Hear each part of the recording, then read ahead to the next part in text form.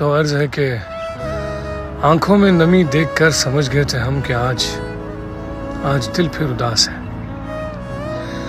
फिर इस बात पे मुस्कुरा दिए कि ये कौन सी नई बात है?